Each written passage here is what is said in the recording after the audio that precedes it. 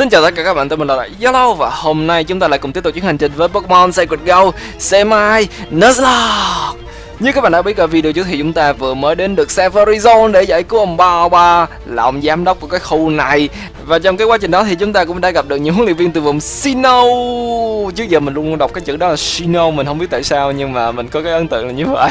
Chứ sao thì chúng ta sẽ phải hiệp lực với những huấn luyện viên là thật ra bây giờ mình cũng không có nhớ là tụi này là huấn luyện viên trưởng của những môn thể thao những huấn luyện viên thường hay là tứ đại hiên vương cho nên cũng không có nói rõ ràng như vậy được. Nhưng mà dù sao thì chúng ta sẽ liên kết với những cái người này để đánh bại team rocket. Ngoài ra thì mình cũng đã gặp Pedro, ông già trong cái băng đảng tội phạm này. Và ừ, sau khi đánh bại ổng thì mình cũng đã nhận được một cái TM là hình như là đoạn toxic mình cũng không nhớ là gì nữa. Oh, bây giờ mở lại cái video trước thì rất là phiền. Cho nên là cứ nói là mình làm được một cái TM trong cái lúc mà ông tháo chạy. Và ngoài ra thì mình cũng đã bắt được một con Pokemon mới đó là Atlas ở đây. Hiện tại thì trong kế hoạch của mình không có Atlas. Bởi vì như mình đã nói những video trước mình có Zwei đảm nhận vai trò Pokemon hệ võ sĩ rồi. Có thể là sau này khi mà à, mình có cơ hội để dạy cái đoạn strength cho đội hình của mình thì mình sẽ cân nhắc cái việc có trong đội hình một con Pokemon để học cái đoạn đó. Bởi vì mình muốn dành cái uh, những cái slot uh, Pokemon uh, những cái slot đoạn hệ uh, những cái slot của Swire để dạy những cái đoạn hệ lửa. Bởi vì mình mới xem lại thì công vật lý và công phép thuật của Swire là gần như bằng nhau. Và trong nhiều trường hợp thì cái công phép thuật của nó còn cao hơn nữa. Cho nên là nếu mà chỉ dạy cho nó cái đoạn blaze kick uh, blaze kick và những cái động vật lý khác thì cũng sẽ rất là phí. Vì vậy mình đang xem xét cái khả năng uh, mình sẽ quay về cái trung tâm uh, cái sòng bạc ở thành phố Golden Rod chơi một vài cái game hoặc là ăn gian một vài cái game sao cũng được để lấy uh, một số đồng xu và mua những cái TM ở uh, ở đó. Không phải mua mà đổi lấy giải thưởng và là những cái TM ở đó. Thì như các bạn cũng đã biết là ở trong cái sòng bạc chúng ta có được ba cái TM là Ice Beam, Thunderbolt và Flamethrower là rất đáng chú ý. À, và nó không có bán trong siêu thị cho nên uh, nếu mà muốn có nó thì chúng ta sẽ phải có những đồng xu từ uh, việc chơi game. Và bởi vì trước giờ mình chưa bao giờ chơi game ở trong cái bản này thật ra là chưa bao giờ chơi game trong cái bản nào. Mình nhớ là hồi đó trong cái crystal thì mình cũng đã chơi thử một hoặc hai game gì đó nhưng mà sau đó thấy trời đất ơi chơi gì mà khó đó phần thưởng lại không có nhiều. Cho nên uh, mình đã mất mất hứng thú. Và sau này trong tất cả những cái bản game sau này thì mình chưa bao giờ vào cái casino để chơi game cả. Mình có vào đó dùng tiền của mình, thật ra đó là tiền sau khi mà mình đánh bại tứ đại hiên vương à, khoảng mười mấy lần rồi. Lúc đó là mình khá là giàu rồi, có được tới mấy triệu trong trong túi lận. Cho nên mình có thể dễ dàng mua những cái TM ở đó. Và trong những trường hợp khác thì mình ăn gian mình nhập mã để tăng cái số lượng đồng xu trong túi của mình lên để đổi lấy phần quà và có nghệ và có thể là trong cái vi trong cái series này mình cũng sẽ làm như vậy. Nếu mà mình bí quá vậy như sau này khi mà gặp tới đại thiên vương và mình không có cái đòn nào đáng chú ý thì mình cũng sẽ ăn gian kiểu đó. Nhưng mà để xem đã có thể là sau video này trong cái lúc mà mình liên luyện level cho đóng Pokemon của mình thì mình cũng sẽ ghé về thành phố Golden Rock tí xíu và xem xem mấy cái game đó có dễ hay không. Nếu mà dễ thì quá tốt mình có thể tự chơi còn không thì ế, tính sau. Dù sao thì ở đây mình đã gặp được một con Pokemon hoang dã ở cái vùng này đó là Farfetch'd và ở trong cái bản hát này thì nó, người ta cũng đã chỉnh lại những cái chỉ số của con này thiên về công vật lý và tốc độ, cũng như là chỉnh cái hệ của nó từ thường bay sang bay võ sĩ. Vì vậy đó là một ứng cử viên không thể thuận lợi hơn để vậy cái đòn HM02 là đòn hệ à, là đoàn bay. Nhưng mà như các bạn thấy ở đây thì mình đã lỡ tay đánh gục nó. Mình cũng không biết tại sao mà nó không có chịu chui vô mấy cái chơi great ball của mình. Vì vậy sau một hồi chật vật thì mình cũng đã phải ra đi trắng tay mà không có bắt được một con Pokemon mới. Thật là đáng tiếc nhất là khi nó là một con Farfetch nữa mà mình rất muốn sử dụng cái con đó trong cái bản hát này nhưng mà ê, số trời không cho biết làm sao giờ. Điều an ủi duy nhất là ở trong cái khu vực đó mình có được một cái cục nugget là một cục vàng mình có thể bán nó đi để lấy 5.000 tiền và mua mấy cái thứ linh tinh khác nhưng mà à, đó xét ra thì cũng chỉ là điều an ủi và cũng không phải nhờ nhiều nhận gì dù sao thì kế hoạch của mình trong video này cũng không có nhiều lắm. Chủ yếu là cho Candace luyện level tí xíu và sau đó tham gia vào cái Safari Zone. Mình biết là sau này thì, sau cái video này thì mình cũng sẽ đem cái đội hình của mình đi luyện level thôi. Nhưng mà tạm thời thì cứ cho nó lên một tí cũng không có hại gì. Và như vậy thì cũng sẽ tiết kiệm thời gian cho mình một tí xíu ở trong cái khoảng thời gian sau cái video này. Và trong khoảng thời gian tới thì chắc chắn mình cũng sẽ cầu trời cầu Phật, làm sao đó để bắt được một con một con anh hệ bay. Bởi vì thật sự là mình không có muốn giữ tí này trong đội hình một tí nào. À chứ giờ mình không có ưa con này tiên hoa là cấp 2 càng xấu hơn nữa. Và thật sự là mình cũng không có, nói chung là mình muốn giữ trong đội hình của mình những con Pokemon mà mình có thể sử dụng nói chung là những con Pokemon hữu ích, chứ không phải là chỉ để dùng những cái TA hoặc là HM trong cái mạng game chính thống thì mình thường đem thêm một con chỉ để dạy những cái đòn TM hoặc là đòn HM thôi.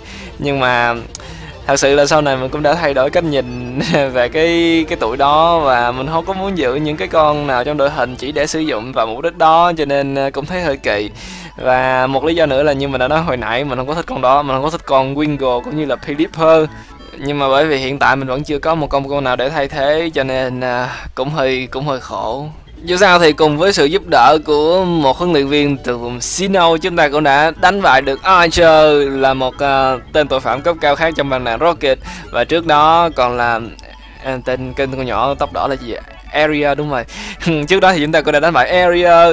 Dù sao thì sau khi đuổi được tụi nó ra khỏi chỗ này thì những cái shop ở đây cũng đã mở lại và mình cũng đã đi loanh quanh và mua một vài món đồ cần thiết giống như là mấy chai dust ball hoặc là net ball thật ra mấy trái đó cũng không cần thiết lắm, nhưng mà như rồi như các bạn cũng đã thấy hồi nãy, bởi vì trong cái túi của mình chỉ có great ball và fast ball cho nên không thể bắt được con pha fetch đó.